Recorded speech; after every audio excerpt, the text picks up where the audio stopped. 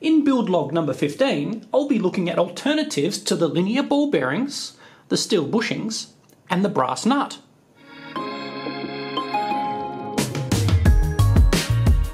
I've been using the Hypercube for about four months, been printing cumulatively for hundreds of hours and consumed a few kilograms of filament.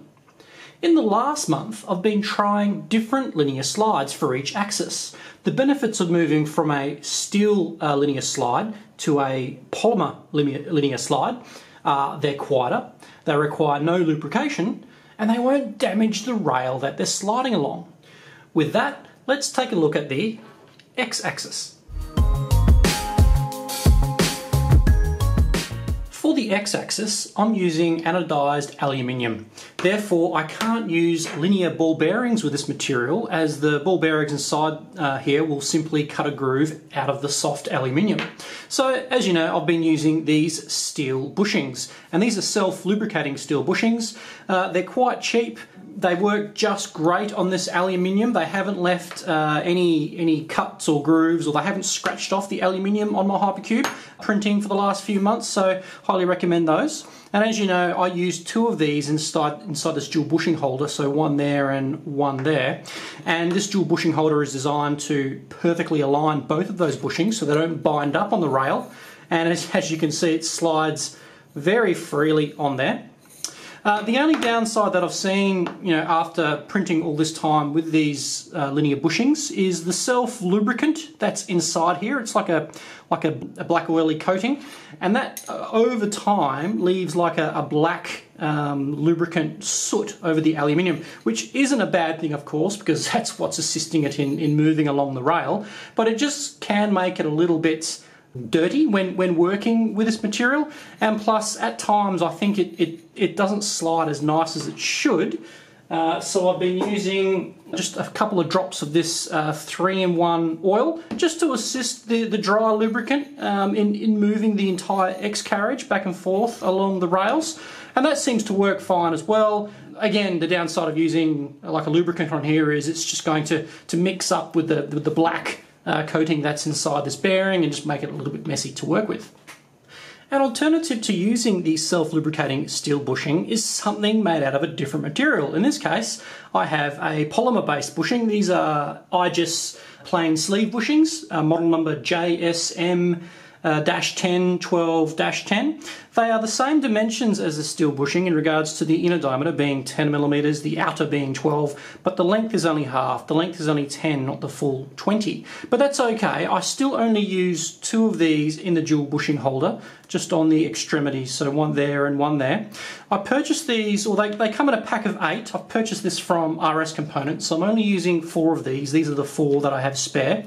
So I currently have this already set up in the Hypercube, and it's working just great. Unlike the, the, the lubricant inside the steel bushing here, uh, leaving the black the black soot on the rail, whatever lubricant this is leaving behind is unnoticeable, unnoticeable at all. So it, it makes it a, a, cleaner, I guess, look and, and cleaner to, to maintain the printer as well with using these. And these slide just as easy as the steel bushings. I'm not experiencing any binding uh, when, with using these, even though I'm only using two of these uh, on the outsides of the dual bushing holder. The dual bushing holder is still constraining them and making sure that they are perfectly aligned, and that's assisting in maintaining the smooth function of the rail. And just like with the steel bushings, I'm still needing to offset both of these dual bushing holders. So as you can see, I still have uh, a few layers of tape under here. I'm using three little slivers of electrical tape on this side to lift this side out a bit. And I have another three uh, layers of tape under here to lift this side out a bit just to create an offset as the bushings are just a slight bit larger than the diameter of the aluminium uh, therefore by offsetting both of these it's maintaining contact with the rail and removing any slop with the carriage. For the XY joiners on the 8mm steel rods, we've been using the standard LM8UU or preferably the longer version of this, the LM8LUU. So that fits into the newer version of the XY joiner uh, in there and this is the clamp which fits over the top of that.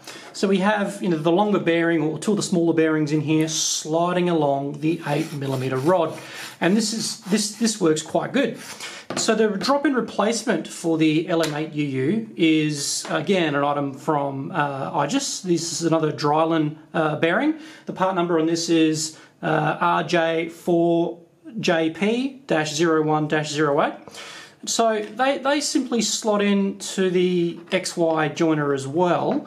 The problem that I'm having with these though is because they're just made of a plasticky material, they're not as stiff as uh, the, the steel um, housing of the LM8UU steel bearing. So that means if we're going to uh, put any pressure on the outside of this bearing, which we are because we're going to be clamping them uh, over the XY joiner, well that's going to deform the internal diameter, meaning it's not going to slide as nicely on the 8mm steel rod. So here's one that I prepared earlier. Here are two of the uh, I just uh, drop in replacement bearings inside this XY joiner and I've already screwed this down with enough force so the bearings or the XY uh, assembly doesn't rotate on the bearings. So I'll just slide the 8mm rod in over here and you'll see it's stiff and it's sticking a bit. And I haven't even screwed these down to the point where I'm comfortable with using this. And that is because I can still slide these bearings through the housing. Look at that. So I need to be able to clamp this down a little bit further, but if I clamp down any further, this is just going to break on the rod and it's not going to be able to move at all. So I haven't been using uh, these uh, bearings on the XY joiner. I did for a little bit when I was using the oldest setup, so when I had just the, the, the single bearing inside the XY joiner, I did give these a go, but again, because I couldn't clamp down enough around this bearing, I was still uh, witnessing a bit of twisting on the Y-axis there, so yeah, I can't recommend using these on the uh, XY joiner. However, your mileage may, may vary.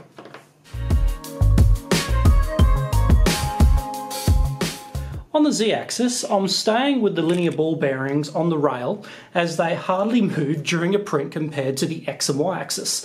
Plus, these polymer bearings have a higher chance to stick than these linear bearings, and we don't want that here, especially when we're asking for only tiny moves such as 0.1 millimeters. The brass nut rotating on the steel lead screw, however, is something we can look at. When the brass nut is unloaded, so there's no weight pushing down on this brass nut, there's a bit of wobble to it, a bit of slop. That's something, something that I never really liked about this particular setup, but once we do load this brass nut down with weight, such as the entire uh, bed platform, it, uh, gravity is now pushing down on the threads of this brass nut, uh, brass nut onto the lead screw, and that removes any of those wobbles. And that works great, it prints really well. But as we've got a metal to metal contact here, we've got to lubricate this particular setup. And the lubricant that I use is a lithium grease, in this case WD-40 branded white lithium grease. Pick this up from the local hardware store. A lithium grease is great for metal to metal contact, so it even says on the back of the can it's great for bearings, hinges and winches and so on. Uh, another plus for this lithium grease is it's quite viscous. It isn't runny, so once you spray it onto the, the thread of the lead screw, it's just not simply going to run down after, after a few hours. It's going to stick to the lead screw and ensure that your brass nut's going to last a long time on the steel lead screw. But if you didn't want to use a lubricant at all on your lead screw, then you're going to have to use a different material other than a metal rotating on the lead. And in this case, I have one of these guys. This is an anti-backlash nut that I've picked up from Maker Store. It's some kind of plastic. The, the website doesn't tell us what material this is, but I wouldn't be surprised if it's a Drylin type material. Uh, it has a hole going right through it, which is already threaded with the same lead and pitch as the standard uh, lead screws that we have here. So this simply uh, screws over the top of the lead screw just like that and then moves just like a brass nut would every time it rotates. The benefit of having this particular design is uh, it doesn't need lubrication because it's not a metal. Uh, and also this particular one being anti-backlash, you see there's this lip up here. We can screw this rub screw down, which puts pressure on the bottom section, lifting up this lip. So we can actually get rid of any of the slop that's on this particular uh, setup as well. Not that it's a big deal in our application on the z-axis as the bed is loading down the entire assembly, but it's nice to know that you've gotten rid of that slop. And this nut block is a drop-in replacement for the uh, nut mount piece. We don't actually need this if you're using this nut block as it already has uh, 5 millimeter holes to accept M5 screws with a length of at least 15 millimeters. So you use two of them that slides through and that can then grab onto the T-slot nut which is inside the bed platform. So the nut trap is gone. I'm using longer M5 screws to screw directly through the anti-backlash nut block into the 2020 aluminium uh, profile for the bed here. Now normally this nut block will be butting up against the 2020 aluminium but I haven't moved this back yet so I need to move this back 10 millimeters but in the meantime I've just printed out a 10 millimeter block uh, and just used longer M5 screws just so I can switch back and forth between using the, the brass nut and this anti-backlash nut but I'll probably uh, move to this permanently uh, which means I'll just need to move uh, this piece back 10 millimeters. On the Hypercube, using a polymer linear slide instead of a standard steel linear slide are completely optional. I haven't noticed any print quality increases using these polymer slides. Uh, it's purely here to make maintenance a little easier as we don't need to worry about lubrication, which also means it's cleaner to work on as your hands won't get covered in grease.